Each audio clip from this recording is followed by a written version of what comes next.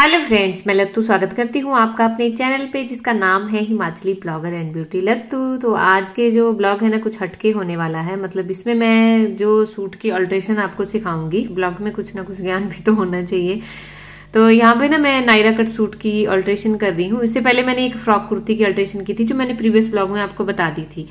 तो जब भी मैं ऐसा कुछ काम करती हूँ तो ब्लॉग में शेयर कर देती हूँ, क्योंकि हम सभी ऑनलाइन शॉपिंग बहुत करते हैं और फिर इस तरह से हमें दिक्कत आती है। तो चलिए अभी मैं बताती हूँ क्या, कैसे मैंने इसकी अल्ट्रेशन की है? तो देखिए, नायरा कट कुर्ती को भी मैंने सेम तरीके से किया है। पता क्या किया मैंने? यहाँ पर आप देख सकते हो। अगर यहाँ से आपकी जो हिप एरिया ना बहुत खुला है, ये अगर आपको कम करना है तो फिर आपको क्या करना पड़ेगा? यहाँ से आपको सिलाई निकालनी पड़ेगी। इसकी जो हिप वाली सिलाई लगी होगी, वो आपको यहाँ से निकालनी पड़ेगी। और फिर इसको इसको भी थोड़ा सा नीचे तक खोलना पड़ेगा आपको। अगर पूरा ज़्यादा नीचे तक बड़ा है तो फिर आपने पूरा खोल देना है ये और फिर इसको भी यहाँ से इस तरह से फोल्ड कर लेना है। ठीक है? नीचे तक फोल्ड हो गए तब जो है आपका कहीं जाके कम होगा। लेकिन मेरे यहाँ से ज़्यादा नहीं लग रहा तो मैं इसलिए नहीं खोलूँगी, ज़्यादा झंझट में मैं नहीं पढ़ूँगी और दूसरी तरफ़ देखिए, मैंने सेम तरीके से इसको कर लिया। तो नायरा कट भी बहुत आराम से घर पे ही ऑर्डर कर सकते हो। ये देखिए इस तरह से। ठीक है? तरीका मैंने बता दिया बहुत जल्दी जल्दी में। तो ये दो मेरी हो चुकी है, अब मेरी तीसरी बची है। तो इसके बाद आ गई भी सरारा सूट की बारी और मुझे लगता है ये लगभग मैं एक साल के बाद इसकी अल्ट्रेशन कर रही हूँ आप समझ सकते हो। और फिर आप बोलते हो कि शॉपिंग नहीं करती मैं।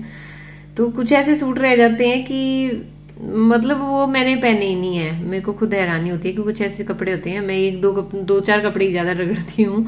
और मैं कोशिश करती हूँ कि मैं हर बार नए नए सूट निकालूं क्योंकि पूरी अलमारी कपड़ों से भरी पड़ी है। जब ऐसे लगता है ना जब हम पहनते हैं तो लगता है कि यार हमारे पास तो कपड़े ही नहीं है। क्या पहनूं क्या पहनूं?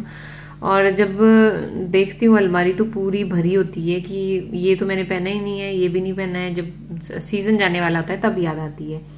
तो पता क्या, अगर आप सीखना चाहते हो ना डीपली तो Lattu R fashion designer channel पे विज़िट कीजिएगा, वहाँ पे मैंने बहुत अच्छे तरीके से आपको सिखाया हुआ है सब कुछ। अगर आप फ़ैशन डिज़ाइनिंग से रिलेटेड कुछ भी सीखना चाहते हो, उस चैनल पे मैं अब रेगुलर वीडियो डाल रही हूँ, क्योंकि आजकल मेरा तो काम थोड़ा सा कम हो गया है तो फिर मैं कोशिश कर रही हूँ कि मैं उसमें बस रेगुलर हो जाऊँ उस चैनल पर क्योंकि मेरा जो काम है वो वही है तो इसीलिए मैं उस चैनल पे ज़्यादा रेगुलर होंगी और बाकी एक सूट तो देखिए मैंने अल्टर कर दिया।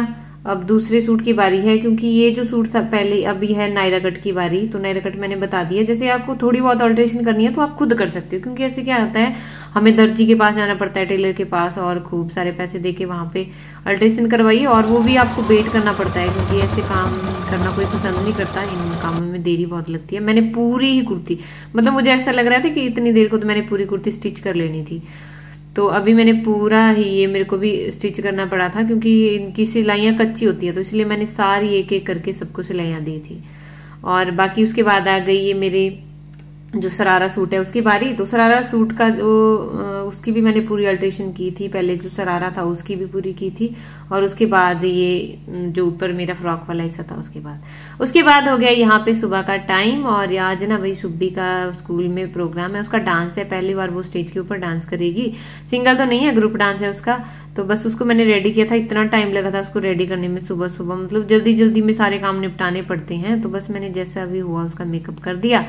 और यहाँ पे सुबह सुबह के नज़ारे हैं, कुछ कमाल के नज़ारे। यहाँ से आपको कैसा लगता है व्यू? प्लीज़ कमेंट बॉक्स में ज़रूर लिखिएगा, मुझे बहुत अच्छा लगता है यहाँ से व्यू।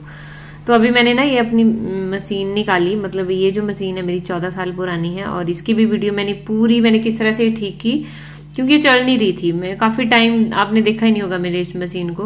बहुत पहले मैंने इससे काम किया था तो अभी काफ़ी टाइम से बेकार पड़ी थी ये। यूज़ ही नहीं की थी।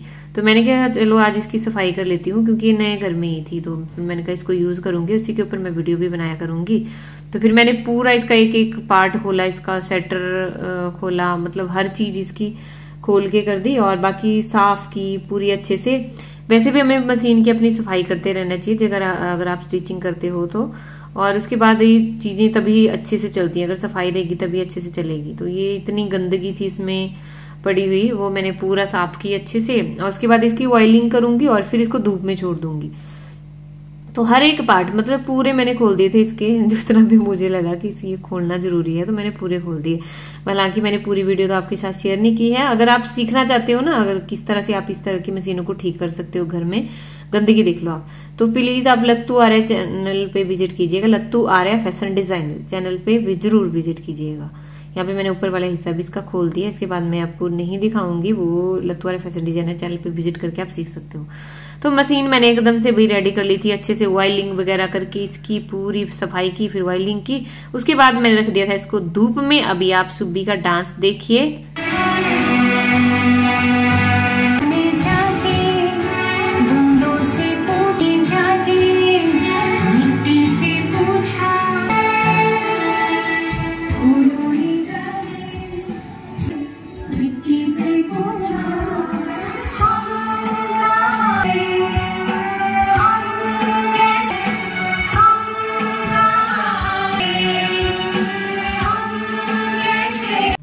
अच्छा तो ये हो रहा है सुब्बी का डांस, जो स्कूल की वीडियो थी, उन्होंने थोड़ी सी आपके साथ शेयर की है। और बताइएगा, सुब्बी कहाँ खड़ी है? मैं देखना चाहती हूँ कितने गैस अच्छे से कर पाती हैं, नहीं कर पाते हैं। तो प्लीज़ बताइएगा मेरे को।